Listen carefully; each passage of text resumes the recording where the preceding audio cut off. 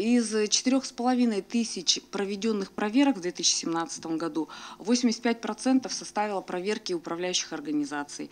10% а, мы проверяли ТСЖ и 5% это 226 проверок было проведено в отношении граждан.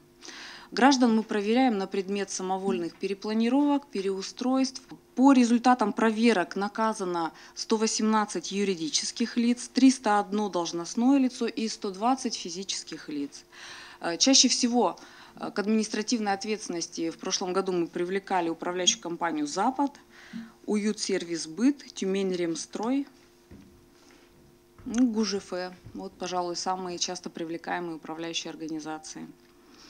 В ходе проверок выявлено почти 1900 нарушений, столько же выдано предписаний, которые находятся на контроле. По результатам выданных предписаний в 2017 году 450 а, домов было отремонтировано, текущий ремонт выполнен.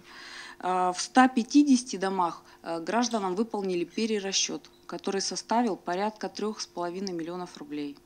Thank you.